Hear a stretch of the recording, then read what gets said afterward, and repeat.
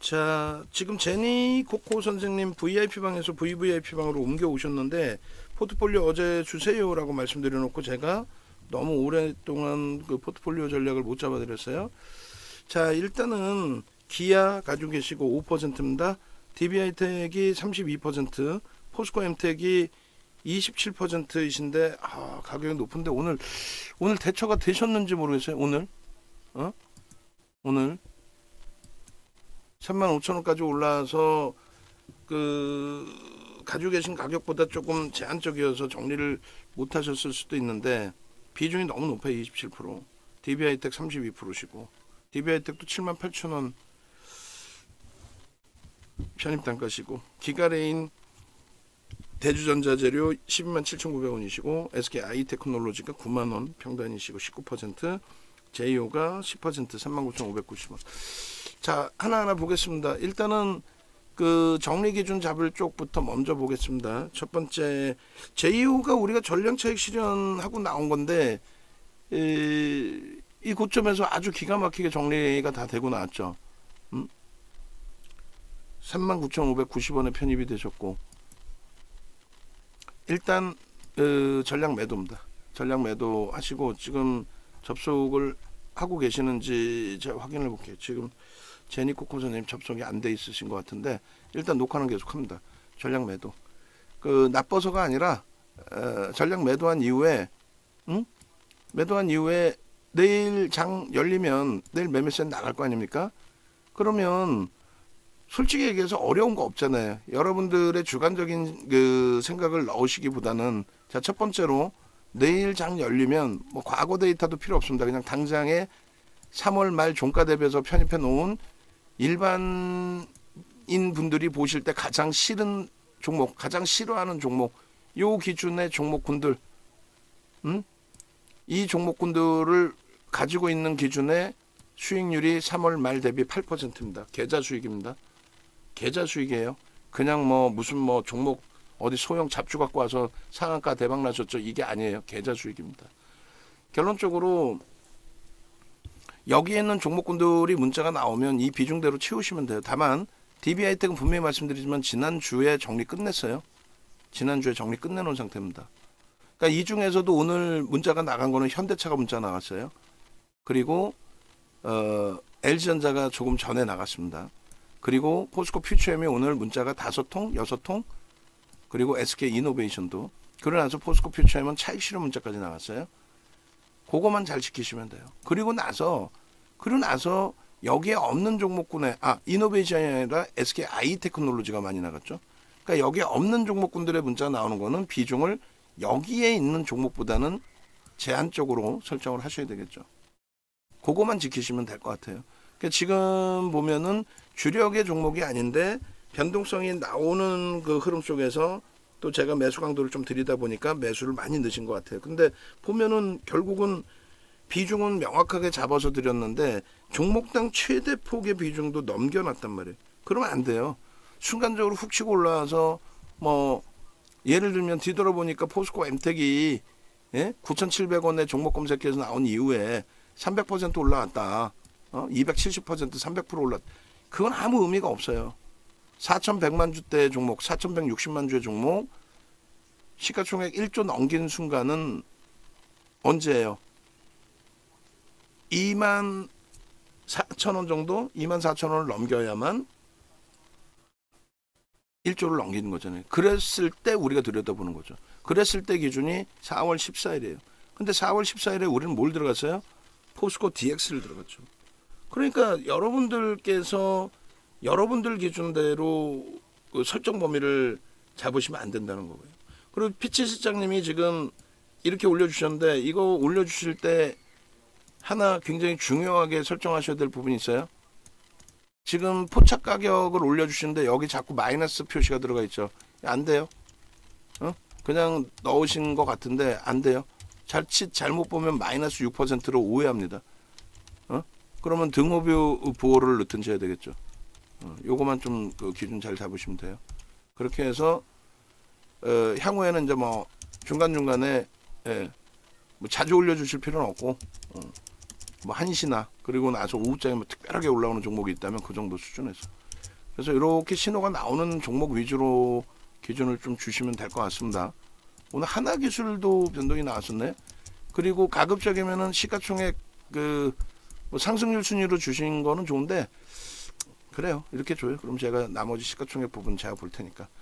자 그렇게 해서 이제 그 설정 범위. 그래서 제2호는 하여간에 10% 비중 적지 않으십니다. 아 이거 좀 갖고 가면 수익 나지 않을까.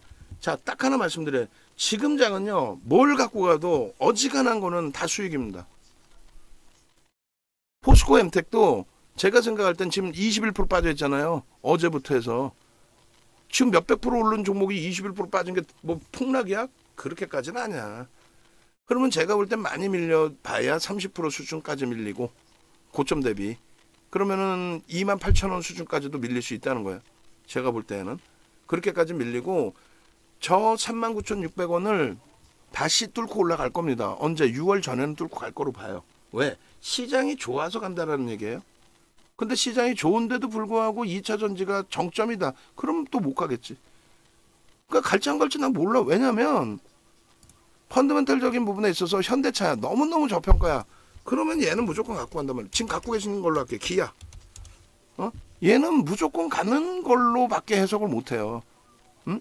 OCI 같은 종목군들처럼 OCI도 시장이 강하니까 올라간 거예요. 얘도 뭐 기업 분할에 대한 기준도 있을 수 있겠지만 얘 보고 무지하게 저평가라는 얘기 많이들 합니다. 근데 증권사에서 보고서도 제한적으로 나와요. 어? 증권사 보고서 기껏 해봐야 그것도 소형사들, 상상인 같은 애들. 소형사에서만 몇 개 나오고 말죠.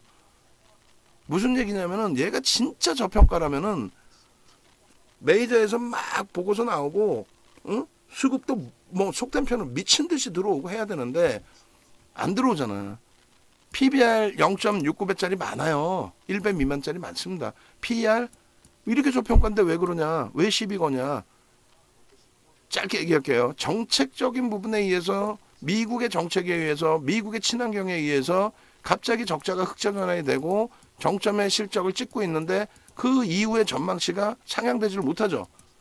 인위적으로 탄소 배출권 예전에 클린턴 대통령 때는요 교토 정서 오바마 대통령 때는요. 파리 기후 협약 그거 다 박살낸 건 누구예요? 부시 정부 들어오면서 없애고 그리고 트럼프 대통령 정부 들어오면서 없애고 이번에 바이든 대통령 들어오면서 만들어놨던 거 다시 공화당 정부로 넘어가면 또 없습니다. 무슨 얘기냐면은 민주당은 친환경이에요. 친환경 부분에 대해서 공식적인 정치자금 후원을 받습니다. 공화당은요 전통 에너지 쪽에서 공식적인 후원을 받아요 정치자금을. 그래서 공화당 정부가 들어올 때 아버지 대통령 아버지 부시 아들 부시 때 이라크 전 걸프전이 튀어나오고 응? 농담이 아니라 그런 흐름의 기준이 잡혀요. 그러니까 결론적으로 지금의 친환경에 대한 태양광이나 이런 쪽의 부분이 가장 단순하게 에, 우리가 어, 경유가 휘발유보다 싸니까 살 거 아니에요. 가성비도 좋고 뭐 이렇게 돼야. 근데 만약에라도 어? 만약에라도 경유 가격이 지금 굉장히 많이 올랐다면서요. 휘발유 가격하고 차이가 안 나면 경유를 사, 경유를 사서 쓰겠어요? 안 쓰겠지.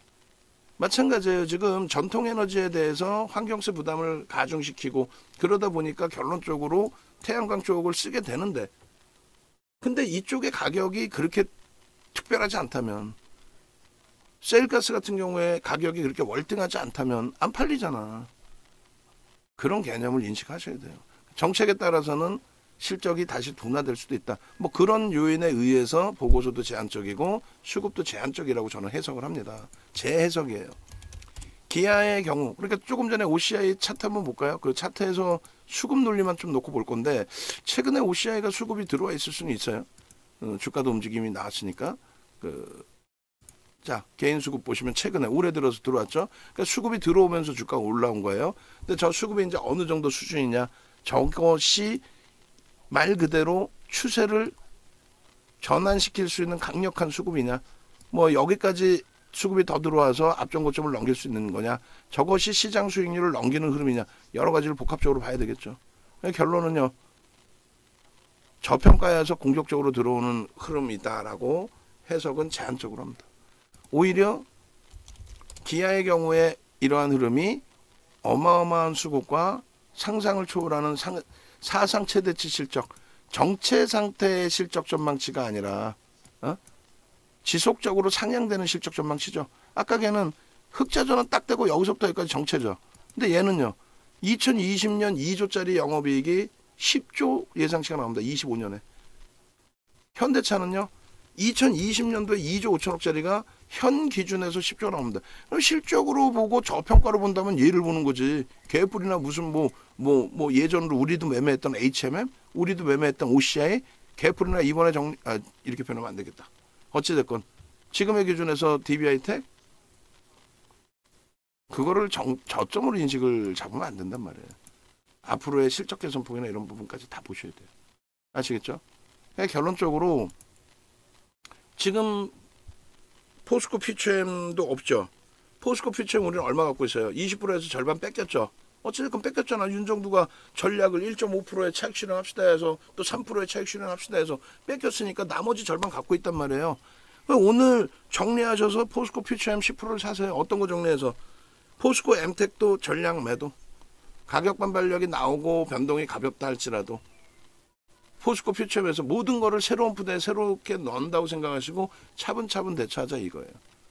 음? 그래서 지금 현재 기준에 예를 들면 이제 JEO라든가 이런 종목군들이 2차 전제 기준이 저평가 상태는 아니다. JEO 같은 경우에도 사실은 2차 전지에 연동돼 있는 쪽으로 해석을 한단 말이에요. 우리가 들어갔던 거는 거래대금이 빵 하고 터져줬기 때문에 그 거래대금의 연소성 그리고 앞으로도 거래대금이 터질 걸로 해석을 합니다. 요 거래대금이 창사일에 뭐 어? 상장한 지 얼마 안 됐고 그 창사일에 사상 최대치 거래대금이 신규 상장했을 때보다 더 터져 있다. 거래대금은 선행한다. 그래서 움직임이 나올 수 있다. 근데 지금 거래 둔화돼 있잖아요. 빼고 빼고 나와서 거래대금 터질 때 그때 다시 들어가면 돼. 언제? 거래대금 터질 때 그게 언젠데 윤 정도가 매매 사인 드리면 안 드리면 거래대금이 안 터졌다는 얘기예요. 그러니까 이런 종목은 명확하게 거래대금 터졌을 때 이럴 때 주간 단위에 들어가서 이럴 때 힘없이 거래량 없이 고점 넘길 때 명확하게 4월 11일 날 전량 매도 끝 정리입니다. SK 아이테크놀로지 얘가 펀드멘탈이 좋아요. 2차 전지 종목군 펀드멘탈 안 좋다 분명히 말씀드렸죠.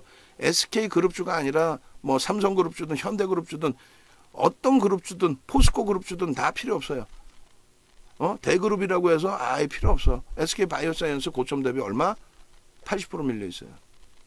결론적으로 얘가 지금 조금 전에 OCI랑 비교했을 때 상상을 초월하는 거품이죠. 프리미엄이 너무 높단 말이에요. 그럼에도 불구하고 우린 들여다봅니다. 왜요? 제이오는 정리했는데 얘는 왜요? 얘는 거래대금이 여기서 터졌고 미끄러지는 내려가는 과정 속에서 거래가 둔화되긴 했지만 그렇지만 수급 범위가 제한적으로 응? 7,100만 주짜리기 때문에 지금 들어온 수급이 엄청나다 볼 수 없어요. 근데 제한적이긴 하지만 유지가 되면서의 흐름 다행히 오늘 강력하게 돌리는 흐름 이번 주 단위까지 목요일 금요일 남아 있는데 내일하고 모레 거래가 안 터지면 정리하고 나옵니다. 그리고 거래 터지는 날 보면 돼요. 근데 내일하고 모레 거래가 수반되고 앞전 고점을 넘겨준다? 그럼 최소 5MA, 20MA 주봉 거래량을 넘겨요. 그 다음 범위에 그럼 또 보면 돼요. 그러니까 결론은 어, 유지하면서 대처를 할 거예요. 얘는 제2호는 거래대금이 얼마예요 지금? 얘는 지금 오늘 1,300억이란 말이야. 마감 때까지 그래도 20이 전후에는 놓여줄 수 있는. 근데 제2호는 거래가 완전히 죽어버렸단 말이에요. 270억 안 돼요. 어? 700만 주 터져서 3천억 정도 터지는 그런 흐름에 우리가 들어간 거지 270억에 들어가겠다는 게 아니란 말이에요. 마찬가지입니다. 대주전자재료 분명히 며칠 전에도 매도세는 드렸어요. 앞전에 누적 수급이 좋다. 이거는 공매 대차 상환일지 뭔지 우리는 몰라요. 알 수가 없어요. 누적적으로 굉장히 많은 매집이 돼 있지 않냐. 주가가 그만큼 올라왔습니다. 좋게 표현하면 손바뀜도 있고 좋은데, 음, 우리가 예를 들여다봤던 거는 마찬가지입니다. 거래 대금이 상상을 초월하게. 왜? 2차 전지가 다 그래요. 사상 최대치 막 신고가가 나오고, 거래 대금이, 응? 창사 일에 주간 단위 거래대금 사상 최대치가 막 형성되고 그러면 이 거래대금이 유지가 돼야 되는데 유지가 안 돼. 그리고 수급도 정체야. 근데 유지 안 되는 수준이 아니라 거래대금 자체가 급감을 했어요. 그래서 정리 기준을 잡는 겁니다. 그리고 얘는 문자 사인이 안 나갔어요. 종목 검색기에서 튀어나왔단 말이에요. 그러면 종목 검색기에서 이렇게 튀어나왔으면은 무백스처럼 중간중간에 뭐 차익 실현 재진입 그럼 그 기준을 다 지켜주셔야 돼요. 얘처럼 어 진입 손절 그럼 손절해야 돼. 재진입하라면 그때 들어가야 되는 거예요. 어? 포스코 퓨처엠처럼 지금 어떻게 됐어요? 진입 이후에 0.84야. 그럼 얘가 만약에 탈퇴로 나와. 그럼 정리하셔야 돼요. 여기서 떠 있는 종목을 들어가시는 기준이라면 대주전자재료 신호가 나왔겠지. 당연히 나왔어요. 10만 원 초반에. 여기서 나옵니다. 거래 터졌으니까. 근데 여기서 꺾였죠. 정리해야 돼요. 지금은요. 지금도 정리해야 돼요. 내일 오르면 어떻게 해요? 내일 거- 오르려면 거래 터져야 돼요. 예를 들면은 윤정도는 정확하잖아요. 기술적 분석은 어저께 얘 에코프로 움직일 때 뭐라 그랬어요? 개뿔 안 됩니다. 왜? 거래 대금이 없습니다. 근데 오늘장 공략적으로 에코프로를 넣을 겁니다. 근데 시간에서 밀려버려. 에이 빼버립니다. 그러면 실질적으로 움직임이 있는 LNF를 넣습니다. 왜? 어제 기준에 수급이 들어오고 거래를 오래간만에 상당히 터져준 거거든요. 상당한 거래를 터뜨려 줬단 말이에요. 1조 가까이. 오늘 그러면은 300만 주 기준 잡고 들여다보자. 근데 300만 주가 안 터졌기 때문에 시초가 대비 5% 수준뿐이 못 올라온 거예요. 내일 그럼 또 보는 거예요. 거래대금 또 터질 수 있기를. 오늘 6천억이잖아. 대주전자 재료 270억이잖아.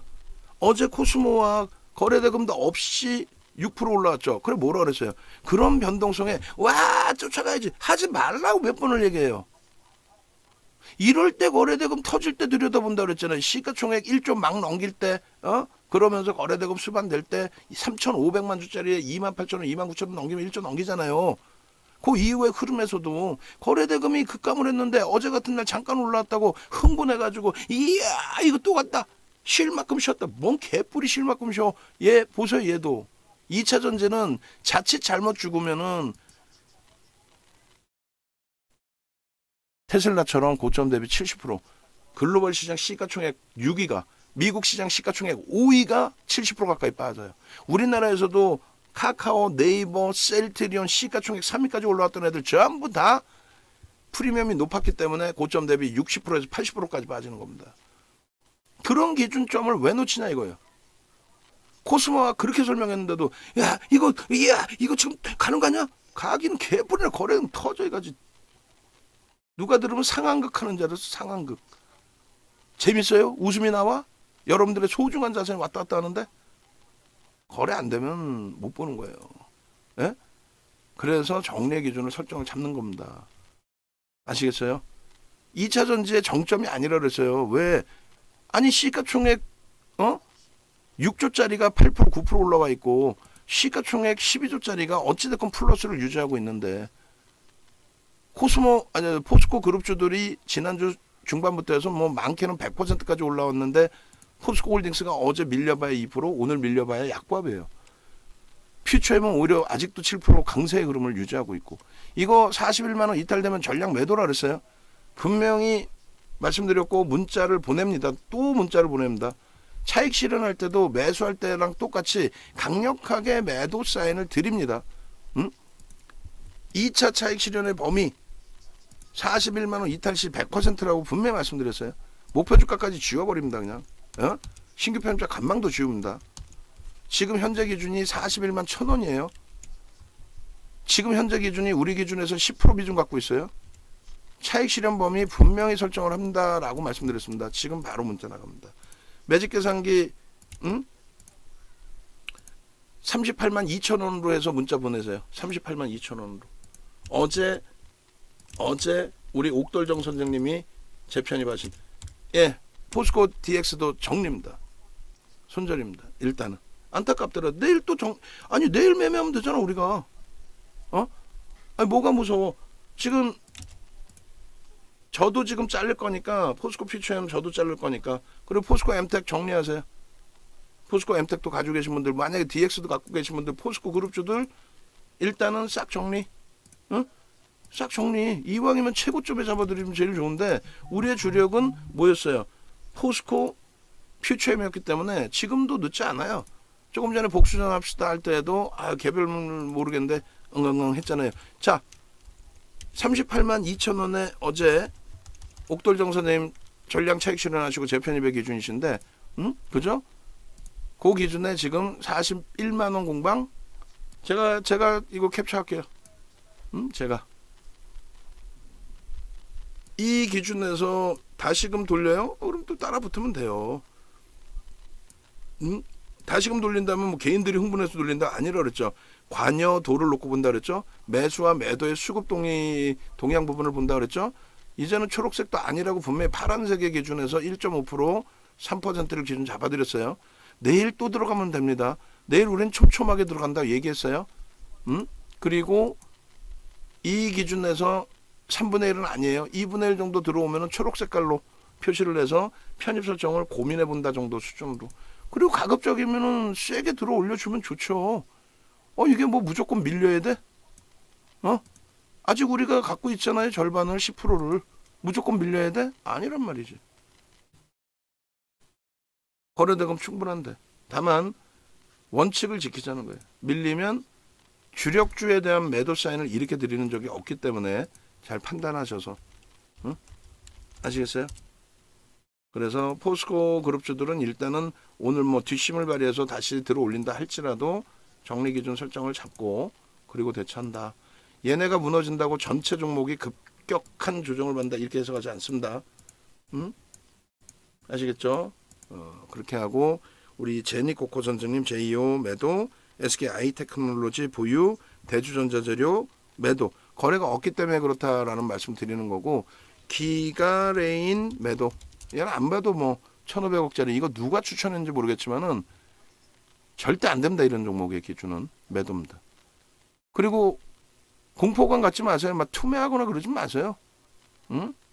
포스코 그 퓨처엠 또 살 거라니까 그리고 전일 대비 7% 올라와 있어요 초강세 흐름이야 그러니까 괜히 그거 팔면서 나머지 막 그냥 아이 나 만족해 그러면서 막 갑자기 LNF도 팔아버리고 그러실 필요는 없다라는 거예요.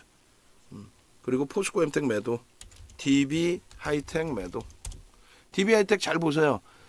1100만 주씩 터지든 1050만 주씩 터지든 종목이 90만 주까지 밀려 내려갑니다. 거래 기준이. 안타깝지만 정리하고 거래 터지면 본다는 거예요. 그 거래 터지는데 잠깐 반등 나오는 걸 가지고 거래 터졌다 하시면 절대 안 된다고 그랬죠. 정리입니다. 정리해요. 정리하시자고요. 예. 그리고 기아 어, 비중 확대. 지금 5%뿐이 없잖아요. 이 비중이 최대 20%까지 채우세요. 최대 폭은 30%까지 채울 수 있어요. 최대 폭은 30%. 그리고 포트폴리오 전체 기준에서 20%까지 채우면 되시고 그 다음에 싹 다 정리되고 SK 아이 테크놀로지가 20% 수준이 남는 거예요. 내일 기준에 일정 범위 아이 테크놀로지도 차익 실현 하시고 그리고 제니코코 님도 지금 이 포트 보니까 혼자서 매도의 기준이 안 잡혀 못 잡혀 그죠 힘드시죠 예, 결론은 DB 쪽 종목 검색기 무조건 받으세요 받으셔가지고 종목 검색기의 신호라도 여러분들이 따라하세요. 종속 종목 검색기에. 어? 그렇게 하고 이런 모백스 같은 상한가 종목 6%에서 상한가요. 초대박입니다. 오늘 응? 1조 이상짜리 종목 나오기도 전에 예부터 나왔어요. 그리고 그 흐름이 지속됐어요. 그 무백스의 흐름이.